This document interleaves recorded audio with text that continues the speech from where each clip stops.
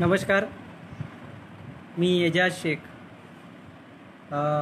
घे भरारी साहित्य समूह मुंबई यांचे मी फार फार आभारी आहे. त्याच्यामध्ये पवन तेजस आणि पुरुषोत्तम या तिघांचे सुद्धा आभार मानतो. खूप चांगला उपक्रम ही लोक करतायत. लॉकडाऊनच्या काळामध्ये सर्व कवींना एकत्र आणतायत आणि मनोरंजनात्मक सर्व सर्वांचं मनोरंजन होतं आहे नमस्कार तेजस नमस्कार.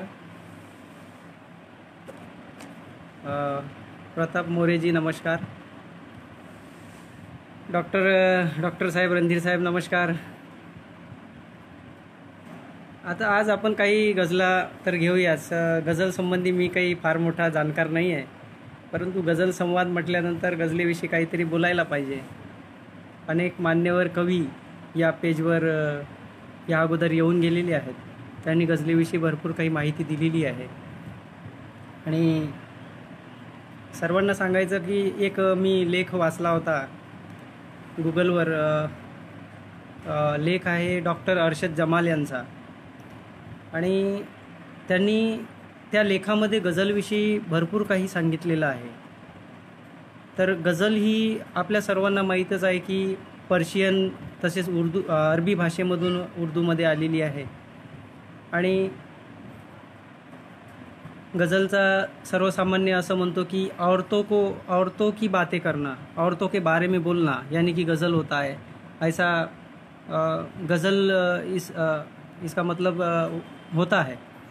तो और यहाँ तक कहा जा सकता है कि गज़ल जो है वो सर्वसाधारण अर्थ माशुका माशुका से बातचीत करना, अपनी माशुका से अपनी माशुका की बातचीत रखना, यानी कि गज़ल, जो कि किसी को दिल को लुभाने के लिए होती है। और, गज़ल जो है, एक उर्दू के प्रख्यात शायर है, रघुपति सराय, फिराक गोरखपुरी जी, उनकी गज़ल की व्याख्या है। उन्होंने साफ़ तौर से एक स्टोरी जो है वो बयां की है कि गज़ल वो हिरन की तरह है, जो हिरन के पीछे शिकारी अपने कुत्तों के साथ में लगा हुआ है और हिरन भाग रही है। और एक झुड़ुप में जो है, हिरन का जो पाव है वो फंस जाता है। तो फिराक गुरु, गोरखपुरी साहब कहते हैं कि झाड़ी में फंस जाने के बाद में वह हिरन जो है वो निकलने की कोशिश करता है, लेकिन वो निकल नहीं पाता। अब जब निकल नहीं पाता, सामने जो है शिकारी है, उसके कुत्ते हैं तो ऐसे मौके पर, ऐसी ऐसी परिस्थिति में जो उसके मुँह से जो जज्बात निकलते हैं, जो आह निकलती है, जो उसकी दिल की तड़प निकलती है, जो हिरन जो कहना चाहती है, जो आलाप होता है, उसके स्वर का कंठ होता है, उसके स्वर में जो कंठ में जो दर्द होता है, वो दर्द होता है गज़ल। तो यह तो गज़ल के बारे में हुआ है। उसी तरह से हम जो गज़ल लिखते हैं तो खाली माशुका से बातचीत करना यहाँ तक गज़ल सीमित नहीं रही है। अभी आप सभी लोग जानते हैं, सभी शायर अपने अपने ख्यालों से कई जो विषय है, कई सब्जेक्ट गज़ल में लेते हैं। और गज़ल में हर एक दो पंक्तियाँ जो होती है, वो अपने आप में एक कविता होती है। तो उसका विषय माँ पर भी हो सकता है, बाप पर हो सकता है, अपना दर्द हो सकता है। या फिर अपनी माशुका की खूबसूरती हो सकती है, या फिर और कोई सभी सब्जेक्ट जो है वो गज़ल में अभी लिए जाते हैं। मैं कोई बड़ा जानकार नहीं हूँ, पर जहाँ तक मैंने पढ़ा है और जहाँ तक सीख रहा हूँ, ये गज़ल जो आहे वो शिकणे की प्रक्रिया आहे म्हणजे गझल जी आहे ती कधीच परिपूर्ण असू शकत नाही। आम्ही तर, आमचं तर असं आहे की आजही आम्ही आमच्या रचनेसमोर गझल हा शब्दच लावत नाही. कारण गझलेचा आवाका खूप मोठा आणि याचा आवाका एवढा मोठा आहे की आपल्यासारखा माणूस म्हणजे त्याच्यावर काय बोलेल? आपल्यासारखा माझ्या तो दृष्टिकोनातून तर मी एवढं सांगेल की गझल म्हणजे एक बोली भाषेमध्ये आपल्या घरामध्ये ज्याप्रमाणे आपण मायेने बोलतो किंवा जी बातचीत आपण आपल्या स्वरामध्ये साध्या सिंपल म्हणजे भाषेच्या माध्यमातून आपण जे बोलतो ती वार्तालाप म्हणजे गझल आहे. एक दुसऱ्याशी बोलण्याची वार्तालाप म्हणजेच गझल आहे. आणि ती सरळतेनं जेवढ्या सरळतेनं आपण सांगू तेवढा व्यापक अर्थ समोरच्याला गेला पाहिजे. ती एक गोष्ट जी आहे ती गझलमध्ये यायला हवी. केवळ शब्दांचा ढाचा आणि शब्दांचं कोंबून ठेवणे केवळ मात्रा बघून अथवा वृत्त बघून लिहिणे तर त्या माध्यमातून थोडंसं कुठंतरी आपल्याला एक बंधन येते. परंतु जेव्हा आपण एक प्रकारे तिला लय देतो आणि त्या लयीमध्ये गुणगुणत गुणगुणत स्वतःची भाषे स्वतःच्या भाषेतून ते साध्या सरळतेने व्यक्त करतो. आपले ज्या काही भावना आहे ज्या काही आपल्या वेदना किंवा जे काही आपले विषय आहेत ते ज्याप्रमाणे आपण व्यक्त होतो ती सरलता ती यायला हवी. आणि शक्यतोवर मी असा प्रयत्न करतो की जास्तीत जास्त सोप्या शब्दामध्ये लिहिण्याचा प्रयत्न व्हावा आणि जास्तीत जास्त अर्थ देण्याचा प्रयत्न करावा. तर हाचा असा माझा प्रयत्न असतो. आज कुछ गजले भी लेना है. सर्वप्रथम मी सर्वांचे इथे स्वागत करतो. लीनाजी नमस्कार. प्रदीपजी नमस्कार. पवन वेलकम मितेजी नमस्कार. हेमलताताई प्रशांत ठाकरे शाहीरजी नमस्कार. बापू चव्हाण नमस्कार. प्रकाश नमस्कार. तर अशा प्रकारे आपण आता काही गजला घेऊया.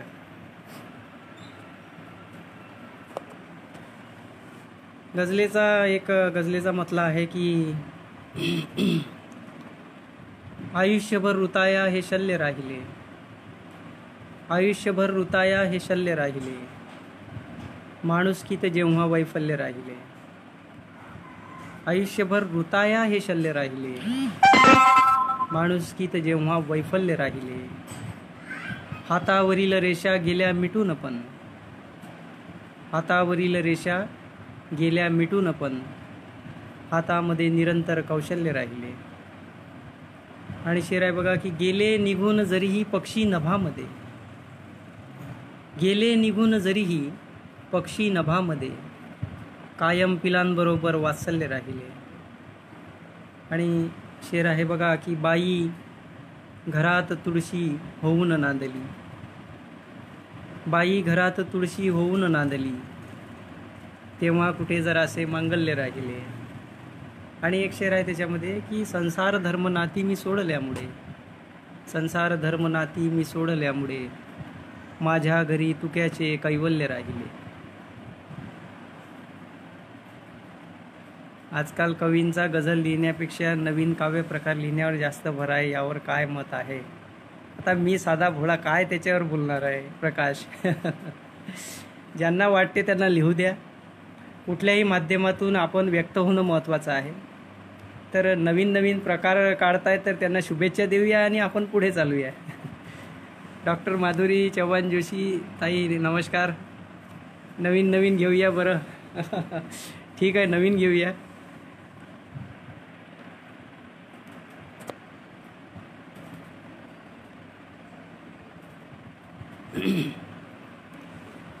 एक हिंदीचा मतला आहे बघा.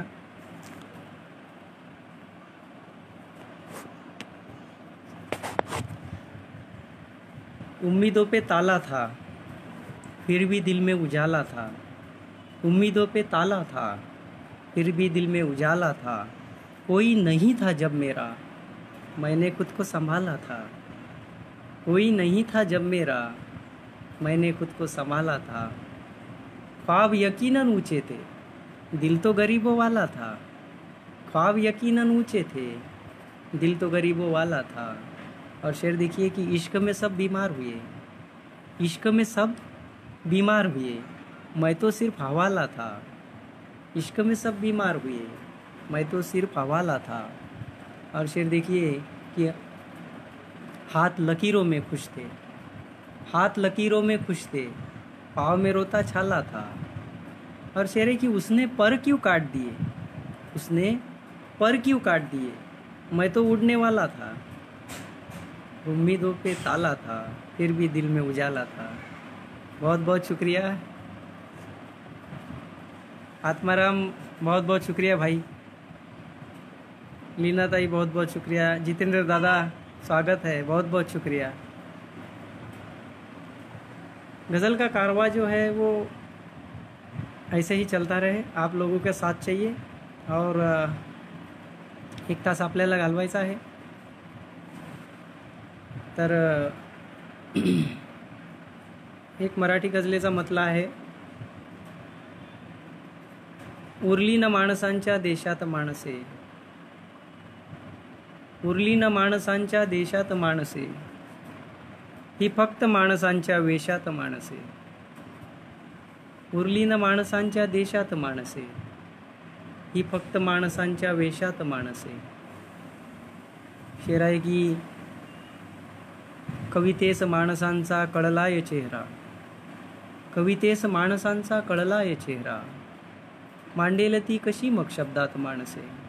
गझल ही सुद्धा एक कविताच आहे. त्याला काही वेगळं असं सांगायची गरज नाही आहे फक्त एक आपण फॉर्मॅटमध्ये गझल वृत्तबद्ध म्हणजे आकृतीबंध एक ढाचा तयार करतो आणि त्याच्यामध्ये लिहितो. म्हणून ती तिला एक लय वेगळं वेगळं पण प्राप्त होते. बाकी ती कविताच आहे. आणि त्यामुळे गझलकार आहे म्हणून फार मोठा काही वेगळा त्याला काही अर्थ नाही आहे म्हणजे सांगायचं तात्पर्य असंच का तो सुद्धा एक कवी आहे. आणि त्याला कवी म्हणूनच सर्वांनी मान्यता दिली पाहिजे. त्याच्यामुळं आपण फक्त एवढंच आहे की गझलकाराचा एकच उद्देश असतो की त्याला जास्तीत जास्त आशय छोट्या छोट्या ओळींमध्ये द्यायचा असतो आणि तसा तो प्रयत्न करतो. तर मी त्या बाबतीतला साधा माणूस त्याबद्दल जास्त सांगणार नाही आहे त्याच्यामुळं जाणकार मी जास्त जाण जाणकार नाही आहे माझ्या अनुभवानुसार मला जे जे मला मला जे जे अनुभव येतात किंवा मी जसा लिहायचा प्रयत्न करतो त्या दृष्टिकोनातूनच तुम्हाला सांगतोय. तर कवितेस माणसांचा या चेहरा. मांडेल ती कशी मग शब्दात माणसे. आणि शेर आहे बघा की वस्तीमध्ये फुलांच्या काटेनं यार हो. वस्तीमध्ये फुलांच्या काटेनं यार हो. काट्या कुट्याप्रमाणे वृत्तात माणसे. वस्तीमध्ये फुलांच्या काटेनं यार हो. काट्या कुट्याप्रमाणे वृत्तात माणसे. आणि शेर आहे त्याच्यामध्ये की गरजेनुसार त्यांचा आकार वाढतो. वाढतो ना? गरजेनुसार त्यांचा आकार वाढतो. बसतात कोणत्याही साच्यात माणसे. गरजेनुसार त्यांचा आकार वाढतो. पसतात कोणत्याही साच्यात माणसे. आणि स्वर्गासमान सुंदर होईल ही धरा. स्वर्गासमान सुंदर होईल ही धरा. जपतील माणसे जर हृदयात माणसे. स्वर्गासमान सुंदर होईल ही धरा. जपतील माणसे जर हृदयात माणसे. आणि शेर की एजाज आतुनी तू माणूस हो जरा. एजाज आतुनी तू माणूस हो जरा. दिसतील मग तुलाही ऐन्यात माणसे. उरली न माणसांच्या देशात माणसे ही फक्त माणसांच्या वेशात माणसे. बहुत बहुत शुक्रिया.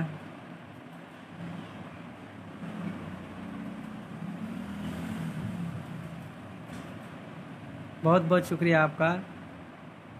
प्रकाश माधुरीताई जितेंद्र दादा बहुत बहुत शुक्रिया. बहुत बहुत शुक्रिया हितेश सर बहुत बहुत शुक्रिया आनंद सर। माधव पवार सर स्वागत आहे नमस्कार। बहुत बहुत शुक्रिया। तर पुढं आपण एक एक गझल घेऊया. तरंडुमचा प्रयत्न करूया. भेटला एक सानी उला पाहिजे. भेटला एक सानी उला पाहिजे. तुम्हाला पाहिजे.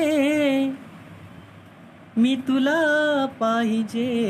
भेटला एक सानी उला पाहिजे.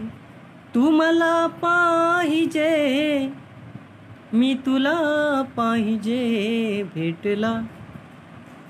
एकटा चालुनी फार कंटाळलो. एकटा चालुनी फार कंटाळलो. सोबतीला कुणी आपुला पाहिजे भेटला. एक सानी उला पाहिजे तू मला पाहिजे मी तुला पाहिजे भेटला. आणि शेर आहे त्याच्यामध्ये. कापले पंख उडणार नाही कधी. कापले पंख उडणार नाही कधी. कापले पंख कापले पंख उडणार नाही कधी. पिंजरा मग कशाला? खुला पाहिजे भेटला. एक सानी फुला पाहिजे. आणि एक शेर आहे त्याच्यामध्ये. शक्य नाही इशाऱ्यावरी नाचणे. शक्य नाही इशाऱ्यावरी नाचणे. मी न तो जो तुला बाहुला पाहिजे भेटला एक सानी उला पाहिजे. तू मला पाहिजे मी तुला पाहिजे भेटला. आणि एक शेर आहे त्याच्यामध्ये. दोन आहोत पण एक आहे गरज दोन आहोत पण. एक आहे गरज जे मला पाहिजे ते तुला पाहिजे भेटला. एक सानी तुला पाहिजे तू मला पाहिजे मी तुला पाहिजे भेटला. आज थोडा आवाजाचा प्रॉब्लेम आहे. थँक्यू जितेंद्र दादा. तेजस बहुत बहुत शुक्रिया पवन आत्माराम. प्रकाश आज भसाळा आवाज आहे. तुझी आजची पोस्ट आहे त्याच्यामुळे आम्ही भसाळ्या आवाजाचे आहोत. त्याच्यामुळं आम्ही जरा समजून घ्या आम्हाला. असो. बहुत अच्छा आप लोग तुम्ही सगळे प्रतिक्रिया देत आहेत बरं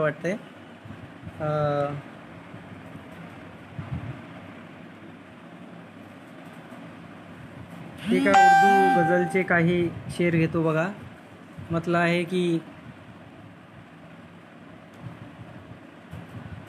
आज आवाजाचा थोडासा पवन व्यवस्थित आहे ना?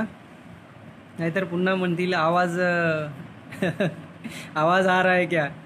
हा प्रश्न म्हणजे या लॉकडाऊनचा सर्वात महत्त्वाचा प्रश्न आहे.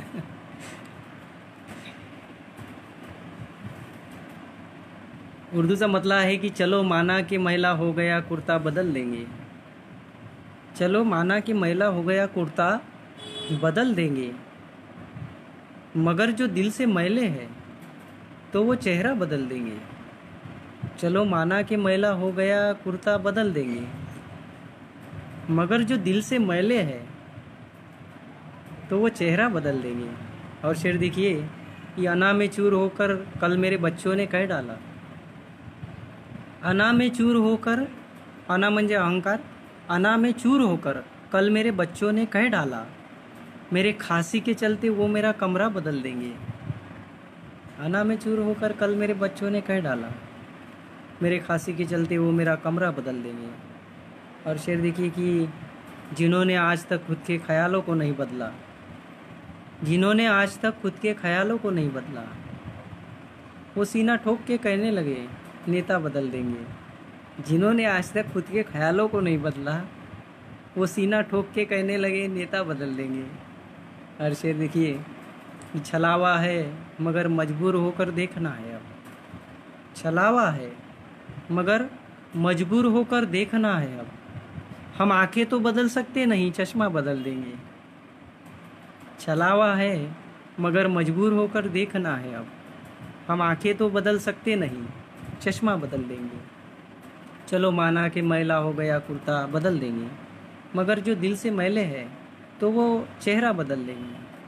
बहुत बहुत शुक्रिया, प्रकाश। ती मला पाहते सारखी सारखी नाहीतर आंदोलन करणार। घेऊया घेऊया। स्मिताजी, बहुत बहुत शुक्रिया। स्वागत आहे। लीना जी बहुत बहुत शुक्रिया। जयश्री जी नमस्कार। एक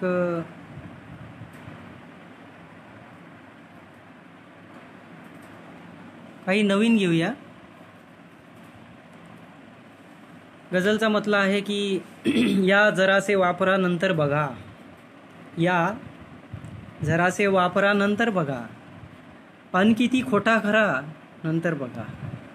या जरासे वापरा नंतर बघा. अन किती खोटा खरा नंतर बघा. काय मी केले कुणाचे वाकडे?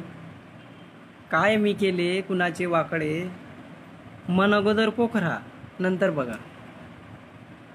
काय मी केले कुणाचे वाकडे? मन अगोदर पोखरा नंतर बघा. आणि शेर बघा ही वाचवा आधी बुडाया लागलो. वाचवा आधी. वाचवा आधी बुडाया लागलो. मोहनारा भोवरा नंतर बघा. वाचवा आधीही बुडाया लागलो. मोहनारा भोवरा नंतर बघा. आणि शेर बघा की एकही तुटणार नाही आपला. एकही तुटणार नाही आपला. तोंड तितके आवरा नंतर बघा. एकही तुटणार नाही आपला. तोंड तितके आवरा नंतर बघा. आणि शेर बघा की फक्त वरती पीक आले पाहिजे. आता पेरणी लागलेली आहे शेतकऱ्यांची. त्याच्यामुळे अशेर बघा की फक्त वरती पीक आले पाहिजे.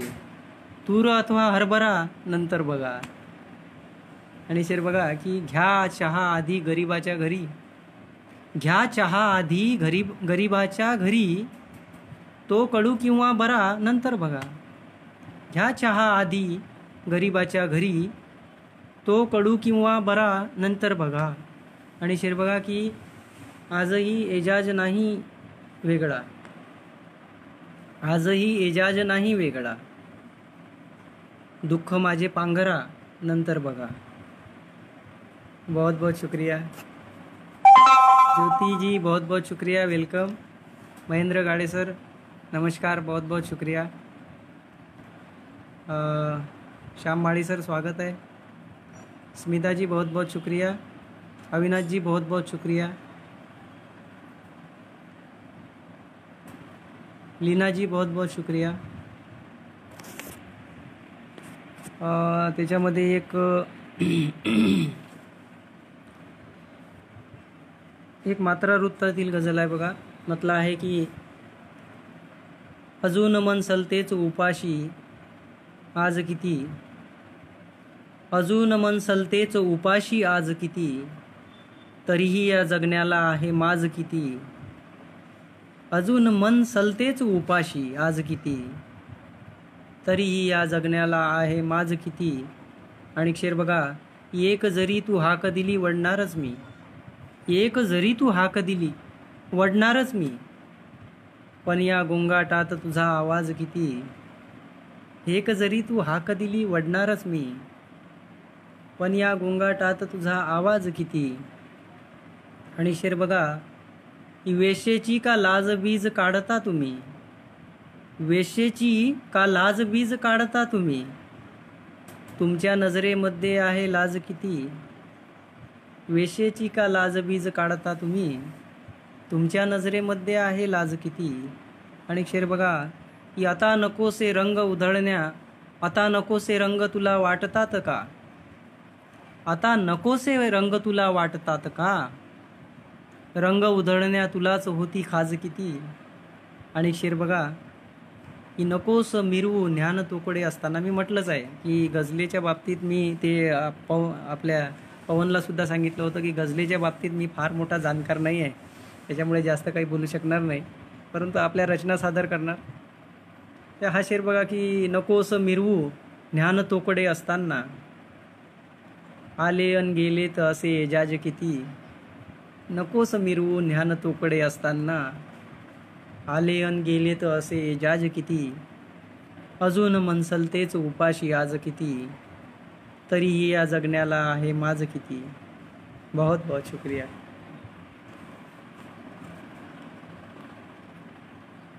सचिन जी बहुत बहुत शुक्रिया. अविनाश जी जितेंद्र दादा बहुत बहुत शुक्रिया.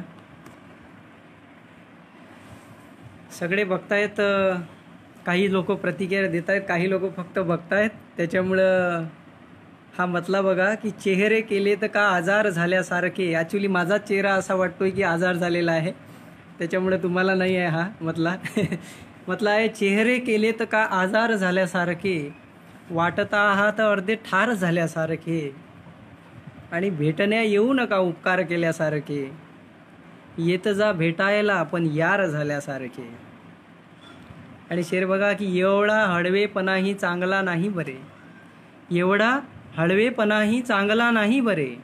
टोमणे छडतील साधे वार झाल्यासारखे. आणि शेर बघा की जेवले नाहीत बाबा जेवूया सोबत चला. जेवले नाहीत बाबा जेवूया सोबत चला. हे मुलाचे बोलणे आधार झाल्यासारखे. जेवले नाहीत बाबा जेवूया सोबत चला. हे मुलाचे बोलणे आधार झाल्यासारखे. आणि शेर बघा की चावडीवर फाळणीसाठी तमाशा चालतो. चावडीवर फाळणीसाठी तमाशा चालतो. हे कसे नाते तुझे बाजार झाल्यासारखे? आणि शेर आहे की एक पदवीधर म्हणे घडवून आणू दंगली. एक पदवीधर म्हणे घडवून आणू दंगली. वाटते शिक्षण किती लाचार झाल्यासारखे. चेहरे केले तर का आजार झाल्यासारखे? वाटत आहात अर्धे ठार झाल्यासारखे. बहुत बहुत शुक्रिया.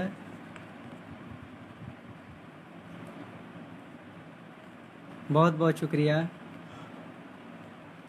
अर्धा वेळ तर झालेला आहे. अर्धा अर्धा आणखीन वेळ तुम्हाला सहन करायचा आहे मला.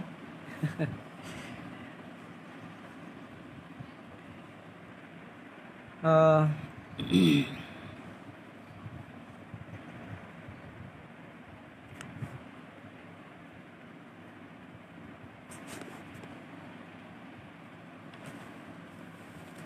एक उर्दू गज़ल घेऊया चैनो सुकून से कभी घर में नहीं रहा। चैनो सुकून से कभी घर में नहीं रहा। मैं वो गुलाम था जो खबर में नहीं रहा। चैनो सुकून से कभी घर में नहीं रहा। मैं वो गुलाम था जो खबर में नहीं रहा। ये और बात है कि सभी मेरे दिल में थे। ये और बात है कि सभी मेरे दिल में थे। हालाँकि मैं किसी के नज़र में नहीं रहा। यह और बात है कि सभी मेरे दिल में थे। हालाँकि मैं किसी की नज़र में नहीं रहा और शेर देखिए कि पत्ते कुरेद कर ये परिंदे तो उड़ गए। पत्ते कुरेद कर ये परिंदे तो उड़ गए। फिर छाव का हुनर भी शजर में नहीं रहा। पत्ते कुरेद कर ये परिंदे तो उड़ गए। फिर छाव का हुनर भी शजर में नहीं रहा। और शेर देखिए कि चचा तुम्हारे हाथों से अखबार ना बेचो। चचा तुम्हारे हाथों से अखबार ना बेचो। सच्चाई का वजूद खबर में नहीं रहा। चचा तुम्हारे हाथों से अखबार ना बेचो। सच्चाई का वजूद खबर में नहीं रहा। और शेर देखिए कि पाँवों पे जिम्मेदारियों की देखकर सुजन, पाँवों पे जिम्मेदारियों की देखकर सुजन, ये रास्ता भी मेरे सफ़र में नहीं रहा। कि पाँवों पे जिम्मेदारियों की देखकर सुजन, ये रास्ता भी मेरे सफ़र में नहीं रहा। और शेर देखिए कि अब दौड़ते हैं खून में हिंदू या मुसलमान। अब दौड़ते हैं खून में हिंदू या मुसलमान। इंसान तेरा खून बशर में नहीं रहा। अब दौड़ते हैं खून में हिंदू या मुसलमान। इंसान तेरा खून बशर में नहीं रहा। चैनो सुकून से कभी घर में नहीं रहा। मैं वो गुलाम था जो खबर में नहीं रहा। बहुत बहुत शुक्रिया आप लोगों का।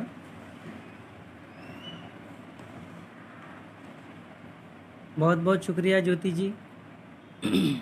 जितेंद्र दादा बहुत बहुत शुक्रिया। माधुरी ताई। जयश्री जी बहुत बहुत शुक्रिया। खूप खूप धन्यवाद सर्वांचे। आभारी आहे।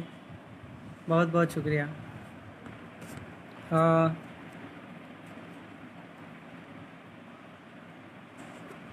एक मराठी गझल घेऊया.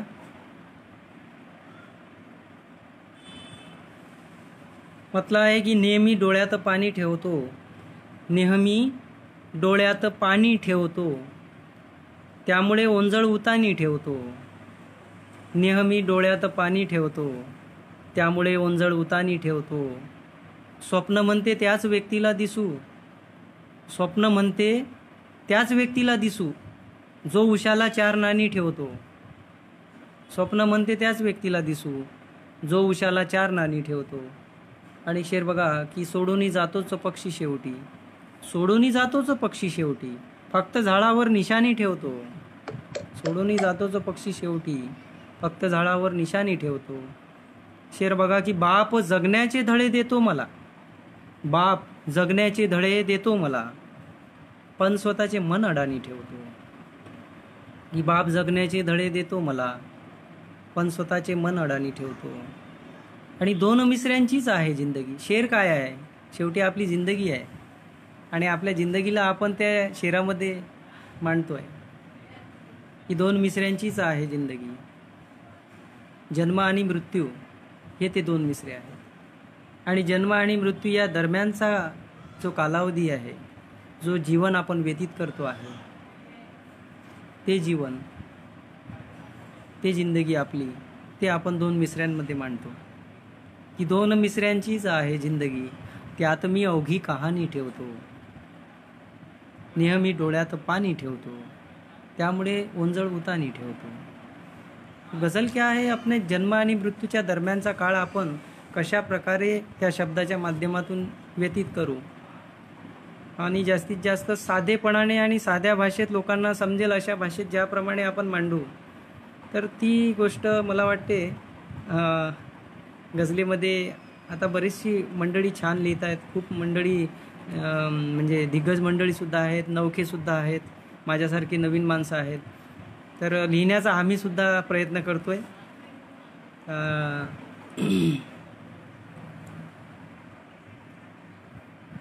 त्याच्यानंतर घेऊया. गझल पुन्हा.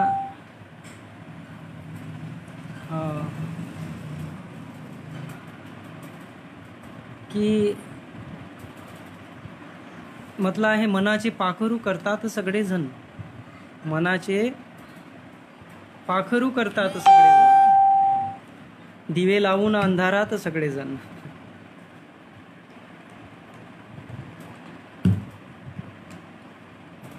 मनाचे पाखरू करतात सगळेजण. दिवे लावून अंधारात सगळेजण. मनाला प्रौढ केले धर्मद्वेषाने. मनाला प्रौढ केले धर्मद्वेषाने. बदलतील का पुन्हा बाळात सगळेजण? स्म स्मशानी शेवटी जाणार सगळेजण. स्मशानी शेवटी जाणार सगळेजण. कशाला धावता वेगात सगळेजण?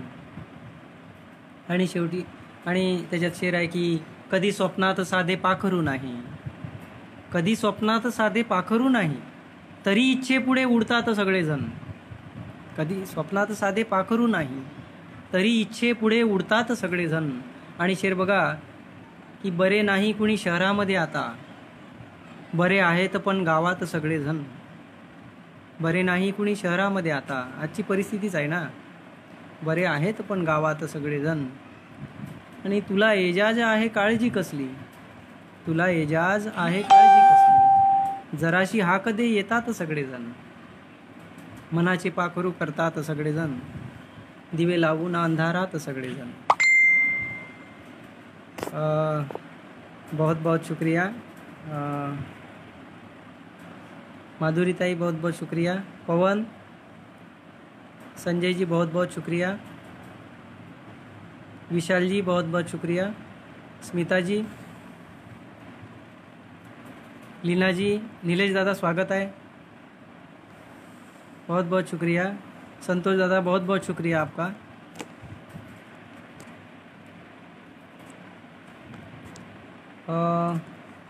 एक नवीन घेऊया। त्याचे काही शेअर घेतो मी की अजून वरती वीज चमकली नाही. अजून वरती वीज चमकली नाही. अजून माझी आशा मिटली नाही. अजून वरती वीज चमकली नाही. अजून माझी आशा मिटली नाही. फोनकडे पाहून फायदा नाही. फोनकडे पाहून फायदा नाही. आयुष्याने रेंज पकडली नाही. फोनकडे पाहून फायदा नाही. आयुष्याने रेंज पकडली नाही. शेर बघा. बासरीतुणी प्राण फुंकले तरीही. बासरीतुणी प्राण फुंकले तरीही. मनासारखी कधी वाजली नाही. बासरीतुणी प्राण फुंकले तरीही. मनासारखी कधी वाजली नाही. आणि शेर बघा की पुढे पुढे तो पान पलटवत गेला. पुढे पुढे तो पान पलटवत गेला. त्याला माझी कविता दिसली नाही. पुढे पुढे तो पान पलटवत गेला. त्याला माझी कविता दिसली नाही. आणि शेर बघा शेवटचा शेर घेतो त्याच्यातला की देणाऱ्याचा हात शिरावर नाही. देणाऱ्याचा हात शिरावर नाही. म्हणून मी ईदी मागितली नाही. देणाऱ्याचा हात शिरावर नाही. म्हणून मी ईदी मागितली नाही. अजून वरती वीज चमकली नाही. अजून माझी आशा मिटली नाही.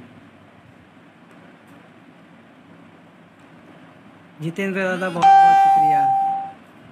संतोष जी बहुत बहुत शुक्रिया। बहुत बहुत शुक्रिया महेश। अं,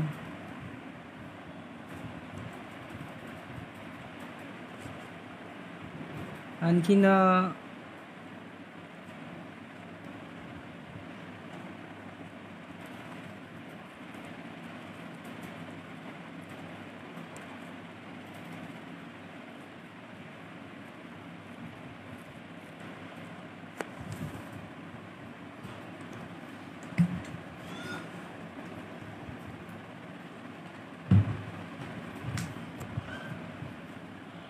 उर्दू काही उर्दूचे कुछ अशार है, आपको सुनाता हूँ। मतलब है, नमी आते ही यादों के दरीचे खोल कर देखो। नमी आते ही यादों के दरीचे खोल कर देखो। अकेले पड़ गए तो सब परिंदे खोल कर देखो। हमेशा शब भरी आँखों से कमियाँ देखने वालों, कभी अपनी निगाहों के उजाले खोल कर देखो। हमेशा शब भरी आँखों से कमियाँ देखने वालों कभी अपनी निगाहों के उजाले खोल कर देखो। और शेर देखिए कि किसी पन्ने में रखा है तुम्हारे नाम का बोसा। बोसा माने चुंबन। किसी पन्ने में रखा है तुम्हारे नाम का बोसा। मेरे अलमारी की सारी किताबें खोल कर देखो। किसी पन्ने में रखा है तुम्हारे नाम का बोसा। मेरे अलमारी की सारी किताबें खोल कर देखो। और शेर देखिए कि मोहब्बत की ही खुशबू आएगी मज़हब के दीवानों। मोहब्बत की ही खुशबू आएगी मज़हब के दीवानों। कभी तो स्कूल में बच्चों के डिब्बे खोल कर देखो। बहुत बहुत शुक्रिया आप लोगों का।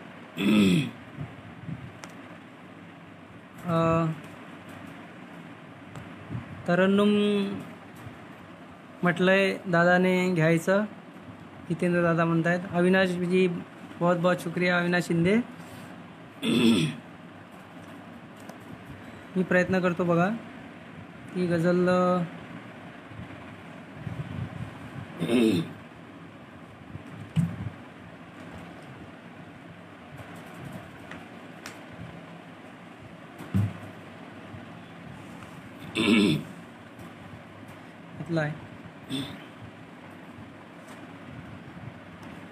फार नाजूक माझी त्वचा वाटते. फार नाजूक माझी त्वचा वाटते. घाव माझा शिवाया सुई लाजते फार नाजूक फार नाजूक माझी त्वचा वाटते. घाव माझा शिवाया सुई लाजते फार नाजूक मोकळा होत नाही. मनातून मी मोकळा होत नाही मनातून मी. मोकळा होत नाही मनातून मी. आत कोलाहलाची नदी वाहते फार नाजूक. माझी त्वचा वाटते. घाव माझा शिवाया सुई लाजते फार नाजूक. आणि शेर बघा. हात मागायला फक्त सरसावतो. हात मागायला फक्त सरसावतो. आणि हातातली कब्बशी लाजते फार नाजूक. माझी त्वचा वाटते. आणि शेर बघा. त्रास वाऱ्या असा होत आहे तुझा. त्रास वाऱ्या असा होत आहे तुझा. त्रास वाऱ्या त्रास वाऱ्या असा होत आहे तुझा. लावतो दार पण ही कडी वाजते फार नाजूक. शेर बघा. शेवटचा शेर आहे. हट्ट पुरू कसा? राधिके मी तुझा. हट्ट कसा? राधिके मी तुझा. ठेवले ओठकी बासरी लाजते. हट्ट कसा? राधिके मी तुझा ठेवले ओठकी बासरी लाजते फार नाजूक माझी त्वचा वाटते. घाव माझा शिवाया सुई लाजते फार नाजूक. बहुत बहुत शुक्रिया आपका. मध्ये काहीतरी ब्रेक झाला होता. फक्त पंधरा मिनटं राहिलेली आहेत. मला सांभाळून घ्यायला.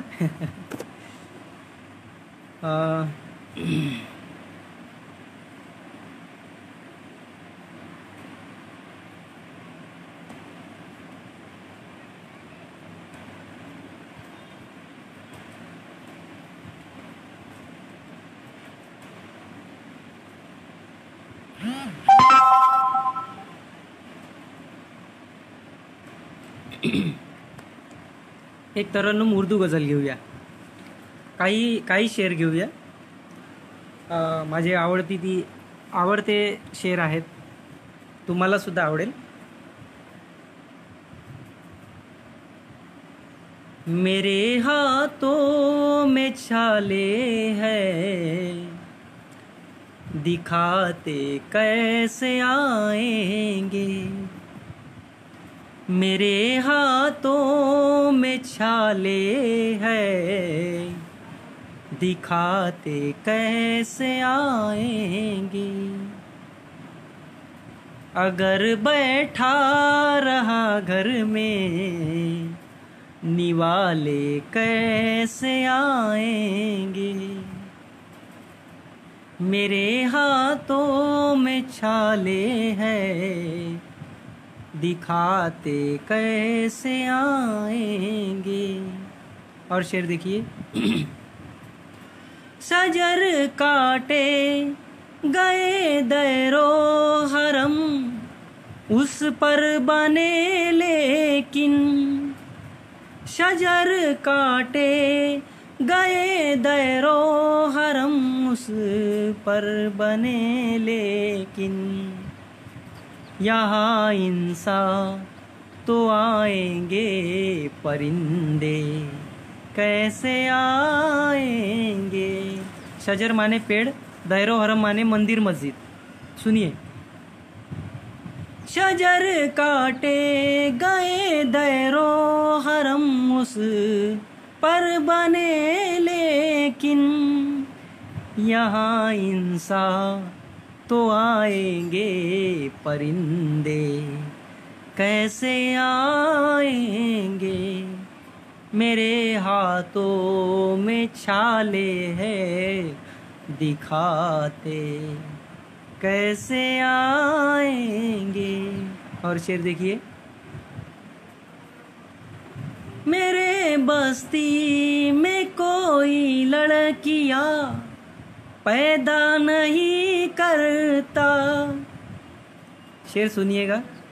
मेरे बस्ती में कोई लड़कियाँ पैदा नहीं करता। दरिंदों के मुहल्ले में फरिश्ते कैसे आएँगे? दरिंदों के मुहल्ले में फरिश्ते कैसे आएँगे?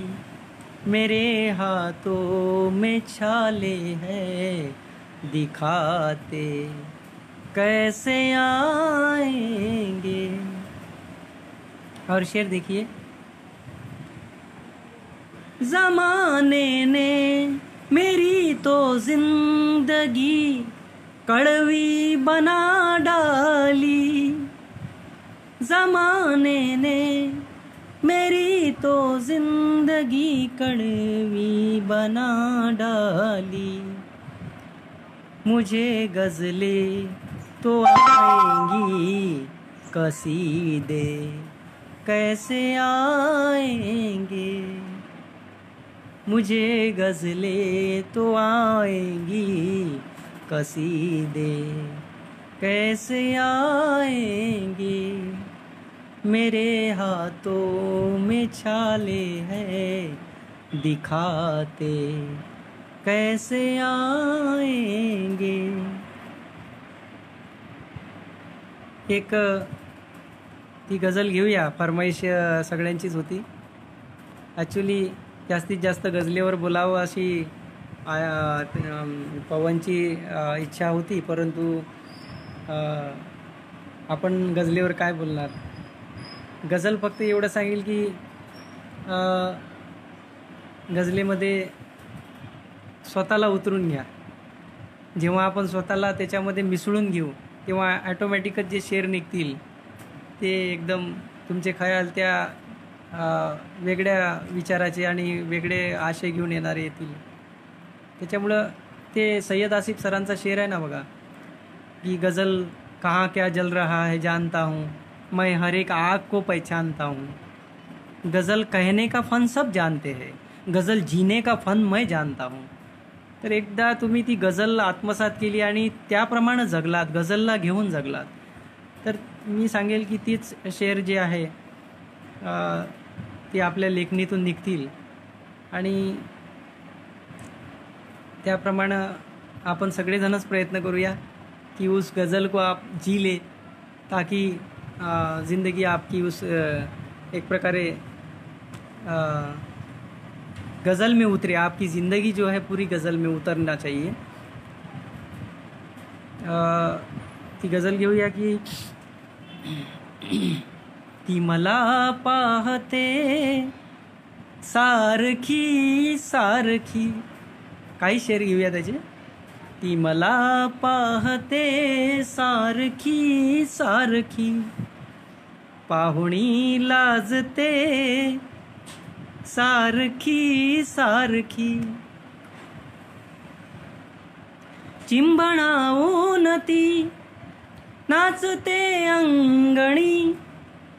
चिंबणावून ती नाचते अंगणी. जीव हा जाळते. सारखी सारखी. ती मला पाहते. सारखी सारखी. आणि शेर आहे त्याच्यामध्ये. श्रावणाच्या सरी लाजल्यान तरी श्रावणाच्या सरी लाजल्यांतरी ती मिठी मारते. सारखी सारखी ती मला पाहते. सारखी सारखी. आणि शेर आहे बघा त्याच्यामध्ये. मोगराही तुझा केवढाही तुझा मोगराही तुझा केवडाही तुझा.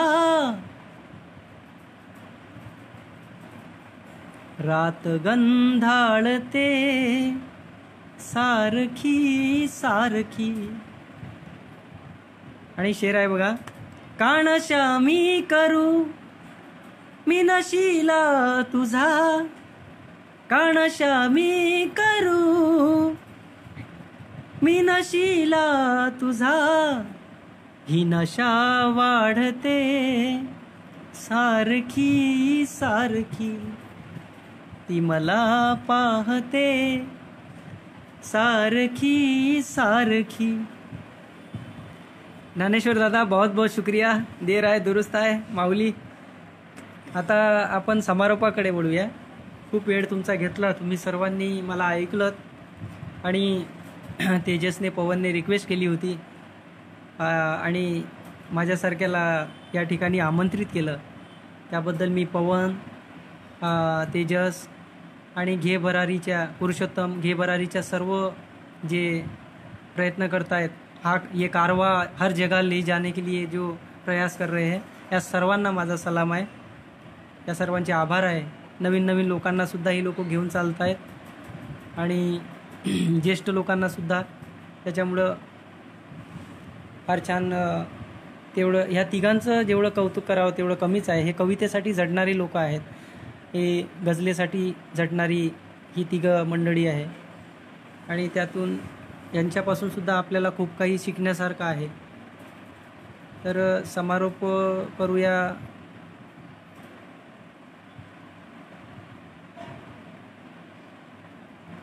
शेवटची गझल घेऊया मराठीची आणि सगळ्यांचे सबको अलविदा कहना चाहूंगा. सगळ्यांनी मला ऐकलं आहे आणि त्याच्या आणि त्यात बरेचदा ऐकलं आहे असं पण आहे. त्याच्यामुळं जेवढे ऐकता येत आहे त्यांचं कौतुक करावं तेवढं कमी आहे. सर्वांचा आभारी आहे. स्वच्छ हृदयाचे झरे आहोत आपण बघा. म्हटलं आहे की स्वच्छ हृदयाचे झरे आहोत आपण आपल्यापुरते बरे आहोत आपण. स्वच्छ हृदयाचे झरे आहोत आपण. आपल्यापुरते बरे आहोत आपण. आपल्याला डोह होता येत नाही. आपल्याला डोह होता येत नाही. फक्त वरचे भोवरे आहोत आपण. आपल्याला डोह होता येत नाही.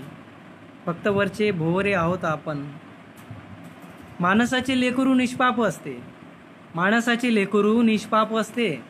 मग कुणाची लेकरे आहोत आपण? माणसाचे लेकरू निष्पाप असते. मग कुणाची लेकरे आहोत आपण?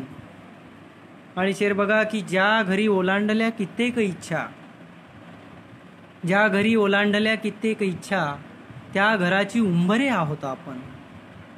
ज्या घरी ओलांडल्या कित्येक इच्छा त्या घराची उंबरे आहोत आपण. शेर बघा की सौख्य आले की जवळ येतात सगळे. सौख्य आले की जवळ येतात सगळे. दुःखितांचे सोयरे आहोत आपण. सौख्य आले की जवळ येतात सगळे. दुःखितांचे सोयरे आहोत आपण.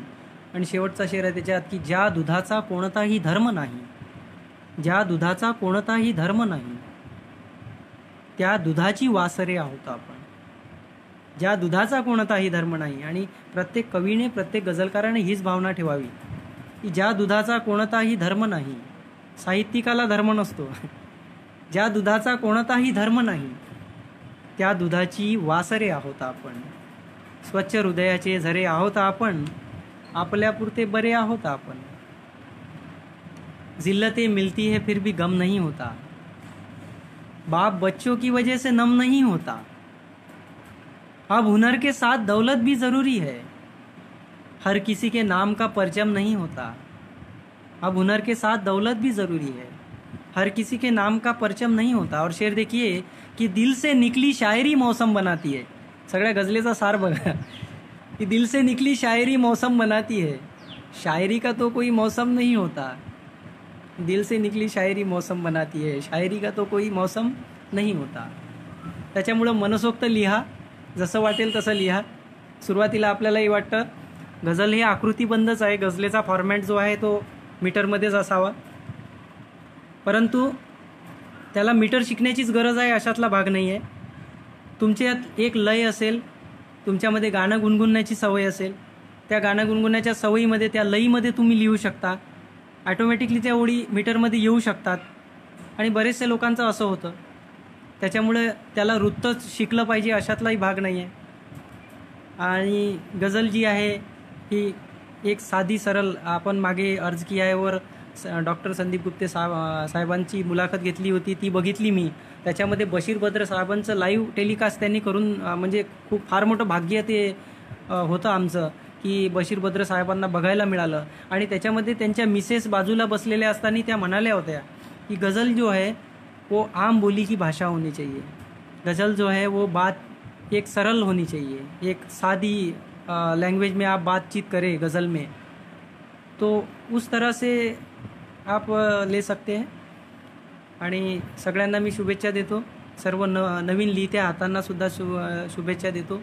मी सुद्धा तुमच्यासोबतच आहे. आपण सोबत लिहूया. आणि या क्षेत्रामध्ये आणखीन चांगलं काहीतरी करण्याचा प्रयत्न करूया. तेव्हा सर्वांचे आभार. काही चुकलं असल्यास माफ करा. अधूनमधून काही आवाज इकडे तिकडे झाला तरी माफ करा. आणि सर्वांचे आभार. धन्यवाद.